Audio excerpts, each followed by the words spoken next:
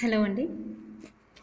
జెనెటిక్స్లో ఉన్నటువంటి టాపిక్స్లలో అతి ముఖ్యమైనటువంటి టాపిక్ మరియు కష్టమైనటువంటి టాపిక్ జీన్ మ్యాపింగ్. ఈ వీడియోలో జీన్ మ్యాపింగ్ గురించి తెలుసుకుందాం. So what is gene mapping? Gene mapping అంటే ఏంటి? So the picture of arrangement of genes in their chromosomes. So క్రోమోజోమ్స్లలో ఆ జన్యువుల యొక్క వరుస క్రమాన్ని తెలియజేసేటువంటి పిక్చర్ని మనం లేదా చిత్రపటాన్ని మనం జీన్ మ్యాపింగ్గా చెప్పచ్చు. సో క్రోమోజోమ్లో ఆ జీన్స్ అనేటువంటివి వరుస క్రమం ఎలా ఉంది అన్నటువంటిదే ఇక్కడ ఈ జీన్ మ్యాపింగ్ అనేటువంటిది తెలియజేస్తుంది. So the is a linear sequence of particular genes అండి క్రోమోసోమ్ సో జన్యువుల యొక్క వరుస క్రమంని తెలియజేసేటువంటి పటాన్ని లేదా మ్యాప్ని మనం జీన్ మ్యాపింగ్ అనేటువంటి పేరుతో చెప్తూ ఉన్నాం. మరి ఈ జీన్ మ్యాపింగ్ ఎన్ని రకాలు? So two types of gene mapping ఉంది. Genetic mapping or linkage mapping second one physical mapping so genetic mapping or linkage mapping అనేటువంటిది మియాసిస్ జరుపుకునేటువంటి కణాలలో అంటే ఒక విధంగా లైంగిక కణాలలో దీన్ని చూడొచ్చు. అలాగే ఫిజికల్ మ్యాపింగ్ అనేటువంటిది సైటలాజికల్ సెల్స్లలో మనం చూడొచ్చు. సో ఇందులో ఫస్ట్ వన్ అయినటువంటి లింకేజ్ మ్యాపింగ్ గురించి చూద్దాం. What is linkage mapping or what is genetic mapping? So genetic mapping లేదా లింకేజ్ మ్యాపింగ్ అంటే ఏంటి? ఇది ఇక్కడ ఉన్నటువంటి దీన్ని మనం ఒక క్రోమోజోమ్గా చూస్తే ఈ క్రోమోజోమ్లో ఇది సెంట్రోమియర్ అనుకుందాం. So genetic linkage so linkage ఇక్కడ ఒక అంటే రెండు జీన్స్ ఉన్నాయి. సో ఇది ఒక జీన్ ఇది ఒక జీన్. సో ఈ రెండు జీన్స్ ఎంత దగ్గరలో అమరి ఉన్నాయి లేదా ఎంత డిస్టెన్స్లో అమరి ఉన్నాయి అనేటువంటి విషయాన్ని ఈ లింకేజ్ మ్యాపింగ్ లేదా జెనెటిక్ మ్యాపింగ్ అనేది తెలియజేస్తుంది. అంటే టూ పర్టికులర్ జీన్స్ అనేటువంటివి ఎంత దూరంలో అమరి ఉన్నాయి లేదా ఎంత దగ్గరగా అమరి ఉన్నాయి అనేటువంటి అంశాన్ని ఈ లింకేజ్ మ్యాపింగ్ ద్వారా చూస్తాం. సో దీనికంటే ముందు మనం అసలు లింకేజ్ అంటే ఏంటి? సో దీన్నే మనం తెలుగులో సహలగ్నత అనేటువంటి పేరుతో చెప్తూ ఉంటాం. సో సహలగ్నత లేదా లింక్డ్ జీన్స్ అంటాము. సహలగ్న జంతువు జన్యువులు లేదా unlinked genes. So linked genes అంటే ఏంటో చూద్దాం. When genes are close together on the same chromosome so okay chromosome పైన ఉంటూ దగ్గర దగ్గరగా అమరి ఉన్నటువంటి జెన్యువులనే మనం లింక్డ్ జీన్స్ అంటాం.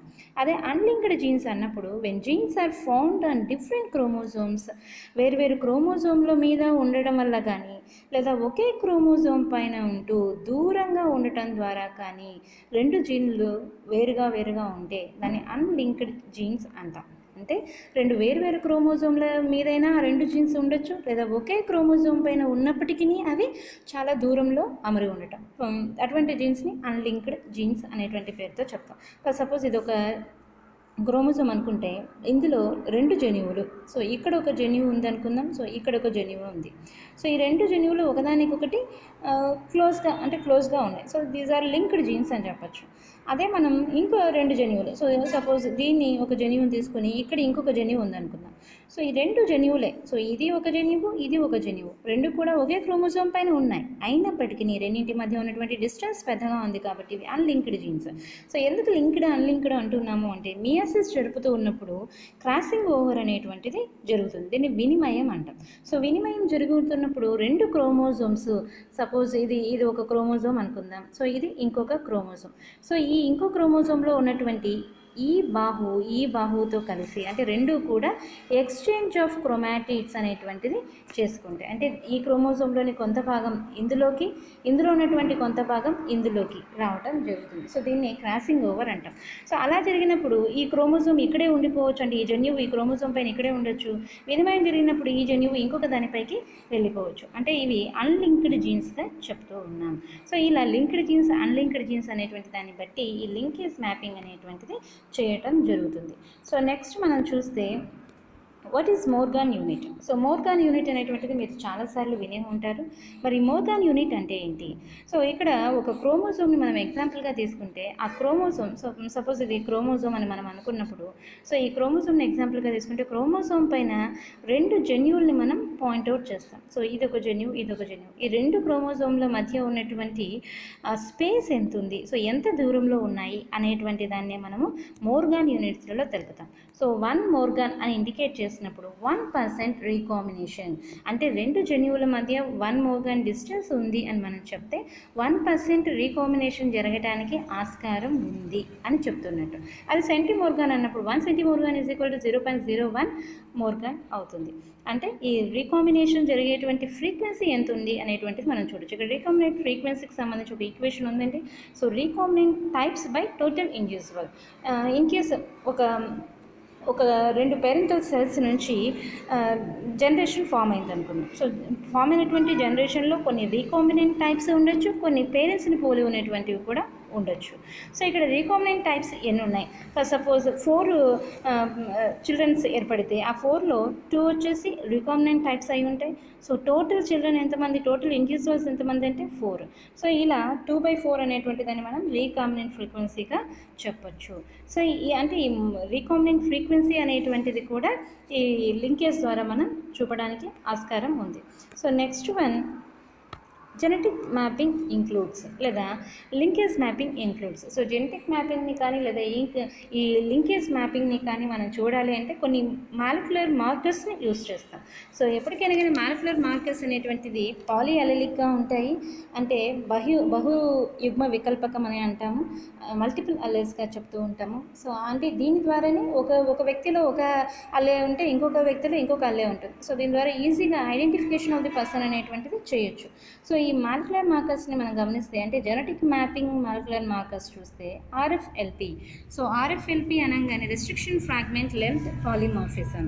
So restriction fragment length polymorphism అనేటువంటి దాన్ని యూజ్ చేసి అంటే ఒక డిఎన్ఈని పర్టికులర్ రెస్ట్రిక్షన్ సైట్స్ దగ్గర కట్ చేసి డిఫరెంట్ సైజెస్ ఆఫ్ ఫ్రాగ్మెంట్స్ని తీయటం జరుగుతుంది. సో దీన్ని సదరన్ బ్లాటింగ్ టెక్నిక్ ద్వారాను అలాగే పీసీఆర్ టెక్నిక్ ద్వారాను చేయటం జరుగుతుంది. అంటే ఈ రెస్ట్రిక్షన్ ఫ్రాగ్మెంట్ లెంత్ పాలిమార్ఫిజం ద్వారా పర్టికులర్గా అది ఏ పర్సన్కి సంబంధించింది అనేటువంటిది హైబ్రిడైజేషన్ ద్వారా కనుగొనవచ్చు అలాగే నెక్స్ట్ వన్ వచ్చేసి ఎస్ఎస్ఎల్పి సో ఎస్ఎస్ఎల్పి అంటే simple sequence length polymorphism so చాలా తక్కువ బేస్ స్పేస్ సీక్వెన్స్ కలిగి ఉంటుంది. సో అందుకే దీన్ని simple sequence length polymorphism so ఇందాక చెప్పుకున్నాం మాలిక్యులర్ అంటే మాలిక్యులర్ మార్కర్స్ అన్నీ కూడా పాలిమార్ఫిజంని ప్రదర్శిస్తాయి.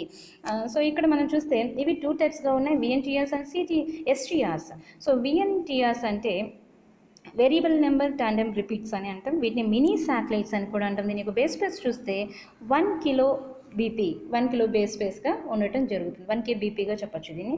అలాగే ఎస్టీఆర్స్ దీన్ని ఎస్టీఆర్స్ లేదా ఎస్ఎస్ఆర్ఎస్ అని కూడా చెప్పొచ్చు. ఎస్ఎస్ఆర్ఎస్ సో ఈ ఎస్ఎస్ఆర్ఎస్ అంటే ఏంటి లేదా ఎస్టీఆర్ఎస్ అంటే ఏంటి? ఎస్టీఆర్ఎస్ అంటే short tandem repeats so short tandem repeats అదే ఎస్ఎస్ఆర్స్ అంటే సింపుల్ సీక్వెన్స్ రిపీట్స్. సో రెండింటిని కూడా రెండు కూడా సేమ్ అంటే సో ఎస్టీఆర్స్ అని అనొచ్చు లేదా ఎస్ఎస్ఆర్స్ అని అనొచ్చు. సో మైక్రో శాటిలైట్స్ ఇవి. సో పైన మన విఎన్టీఆర్స్ ఏమో మినీ శాటిలైట్స్ అవుతాయి ఇవేమో మైక్రో శాటిలైట్స్ అవుతాయి వీటి యొక్క బేస్ స్పేస్ చూస్తే చాలా తక్కువ బేస్ స్పేస్ ఉంది. కేవలం ఒకటి నుంచి ఆరు బేస్ స్పేస్ మాత్రమే కలిగి ఉంటుంది. ఇది కూడా పాలిమార్ఫిజంని ప్రదర్శిస్తుంది. అంటే పర్సన్ పర్సన్కి ఇది డిఫరెంట్గా ఉంటుంది. Last one single nucleated polymorphism. So single nucleated polymorphism అంటే ఎస్ఎన్పి అంటున్నాం దీన్ని. ఈ సింగిల్ న్యూక్లియేటెడ్ పాలిమార్ఫిజం చూసే ఒక సింగిల్ బేస్ పేర్ డిఫరెన్స్ అనేది ఉంటుంది. అంటే సపోజ్ ఒక పర్సన్లో ఏజీసీటీఏజీసీ ఉందనుకుందాం. ఇంకొక పర్సన్ అంటే ఇంకొక చోటుకు వచ్చేసరికి ఏజీసీ టీకి బదులుగా ఇక్కడ ఏఏజీసీ ఉండొచ్చు. అంటే ఒక సింగిల్ బేస్ పేర్లో డిఫరెన్స్ అనేటువంటిది పర్సన్ పర్సన్కి తెలుస్తూ ఉంటుంది. సో దీన్ని సింగిల్ న్యూక్లియేటెడ్ పాలిమార్ఫిజం అనేటువంటిదిగా చెప్తున్నాం. సో ఈ సింగిల్ న్యూక్లియేటెడ్ పాలిమార్ఫిజం అనేటువంటి దాన్ని ఈ డిఎన్ఏ చిప్ టెక్నాలజీ ద్వారా కానీ లేదా సొల్యూషన్ హైబ్రిడైజేషన్ ద్వారా కానీ లేదా ఒలిగోన్యూక్లియేటెడ్ లైగేషన్ అస్సే ద్వారా కానీ లేదా ఏఆర్ఎంఎస్ టెస్ట్ ద్వారా కానీ చూడటం జరుగుతుంది. సో నెక్స్ట్ మనం చూస్తే ఫిజికల్ మ్యాపింగ్. సో ఇంతవరకు జెనెటికల్ మ్యాపింగ్ అంటే జెనెటిక్ మ్యాపింగ్ లేదా లింకేజ్ మ్యాపింగ్ గురించి చూస్తాం. సో ఈ ఫిజికల్ మ్యాపింగ్ అనేటువంటిది ఏంటి అంటే so we will know the exact location of the particular two genes అది క్రోమోసోమ్ సో ఒక క్రోమోసోమ్ పైన ఉన్నటువంటి రెండు జన్యువుల యొక్క పర్టికులర్ ప్లేస్ని చూస్తాం. అదే మనం ఈ జెనెటిక్ మ్యాపింగ్లో చూస్తే రెండు జన్యువుల మధ్య ఎంత దూరం ఉంది అనేటువంటిది మాత్రమే చూస్తాం. అవి ఎక్కడున్నాయి ఏంటి అనేటువంటిది ఆ లింకేజ్ మ్యాపింగ్ అనేటువంటిది తెలియజేయదు. కానీ ఫిజికల్ మ్యాపింగ్ వచ్చేసి ఈ క్రోమోజోమ్ పైన అంటే ఈ పర్టికులర్ క్రోమోజోమ్ పైన రెండు జీన్స్ ఏ లొకేషన్లో ఉన్నాయి అనేటువంటి విషయాన్ని మనకు ఈ ఫిజికల్ మ్యాపింగ్ అనేటువంటిది తెలియజేస్తుంది. మరి ఫిజికల్ మ్యాపింగ్ గురించి మనం చూస్తే సో ఇక్కడ ఫిజికల్ మ్యాపింగ్ ఇంక్లూడ్స్.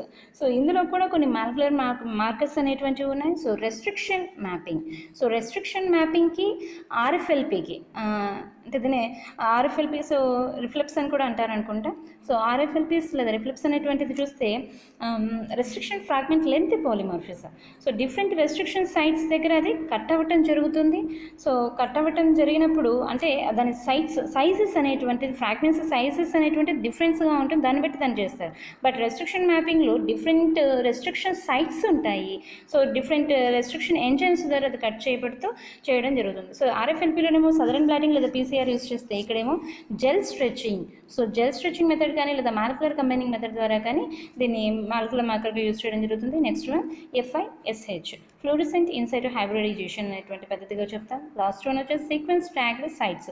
సో ఇది కూడా షార్ట్ బేస్ స్పేస్ కలిగి ఉన్నటువంటిది దాదాపు two hundred to five hundred base స్పేస్ని కలిగి ఉంటాయి ఈ ఎస్పిఎస్ అనేటువంటిది. సో నెక్స్ట్ మనం చూస్తే ఈ ఫిజికల్ మ్యాపింగ్కి జెనెటిక్ మ్యాపింగ్కి ఉన్నటువంటి డిఫరెన్సెస్ ఏంటి? So genetic mapping and physical mapping. So genetic mapping అనేటువంటిది the distance between the two particular genes అనేటువంటిదే తెలియజేస్తుంది. సో డిస్టెన్స్ని మాత్రమే తెలియజేస్తుంది అంటే జీన్స్ మధ్య ఉన్నటువంటి డిస్టెన్స్ బట్ ఫిజికల్ మ్యాపింగ్ వచ్చేసి పర్టికులర్ లొకేషన్ తెలియజేస్తుంది.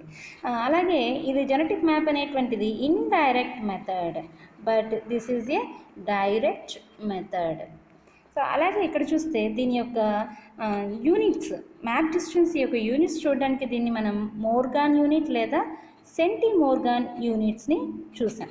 బట్ ఇక్కడికి వచ్చేసరికి బేస్ స్పేస్ అనేటువంటివి యూనిట్స్గా ఉంటాయి. సో జెనెటిక్ మ్యాప్కి ఫిజికల్ మ్యాప్కి ఉన్నటువంటి డిఫరెన్సెస్ ఏమో జెనెటిక్ మ్యాప్ ఏమో exact distance between the two genes అనేటువంటి చేస్తే particular location of the two జీన్స్ని physical map తెలియజేస్తుంది. అలాగే జెనెటిక్ మ్యాప్ అనేటువంటిది ఇండైరెక్ట్ అయితే ఫిజికల్ మ్యాప్ ఈజ్ డైరెక్ట్ అయితే ఇది మోర్గన్స్ అండ్ సెంటీ మోర్గన్స్ అనేటువంటి యూనిట్స్లో దీన్ని తెలియజేస్తుంది. దీన్ని బేస్ అనేటువంటి యూనిట్లో తెలియజేస్తారు. అలాగే జెనెటిక్ మ్యాప్ అనేటువంటిది దీన్ని లింకేజ్ మ్యాపింగ్ అంటున్నాం కాబట్టి ఇది జర్మినల్ సెల్స్ లేదా మియాసిస్ జరిగేటువంటి సెల్స్లలో దీన్ని చూడొచ్చు. లింకే ఫిజికల్ మ్యాపింగ్ వచ్చేసి సైట్రలాజికల్ సెల్స్లో కూడా సైట్రలాజికల్ క్రోమోసోమ్స్లో కూడా మనం చూడొచ్చు. సో ఇది genetic mapping and physical mapping యొక్క డిఫరెన్సెస్ అలాగే ఈ జీన్ మ్యాపింగ్ యొక్క అడ్వాంటేజెస్ మనం చూస్తే helps in analysis of the heterogeneity and segregation of human genetic diseases so human genetic diseases genetical diseases ఎలా వంశపారంపర్యంగా వస్తున్నాయి ఎలా ఒకరి నుంచి ఒకరికి స్ప్రెడ్ అవుతూ ఉన్నాయి ఎందుకు కొద్ది మందిలో కనపడలేదు కొద్ది కనిపిస్తూ ఉన్నాయి వాట్ ఈస్ ద రీజన్ అనేటువంటిది ఈ జెనెటికల్ డిసీజెస్ అనలై అనాలిసిస్ అనేటువంటిది uh, జీన్ మ్యాపింగ్ ద్వారా చేయొచ్చు. అలాగే to develop methods for gene therapy so gene థెరపీని కూడా మనం ఈ మాలిక్యులర్ మార్కర్స్ ద్వారా లేదా జీన్ మ్యాపింగ్ ద్వారా ఎగ్జాక్ట్ డిసీజ్ కాస్ట్ జీన్ని కనిపెట్టి దాన్ని రీప్లేస్ చేయటం చేయొచ్చు. So gene therapy next provides clinically useful information about linkage so లింకేజ్కి సంబంధించి వైద్యపరంగా uh, మంచి ఇన్ఫర్మేషన్ అందివ్వగలదు ఈ జీన్ మ్యాపింగ్ అన్నటువంటిది. సో ఇదండి మొత్తానికి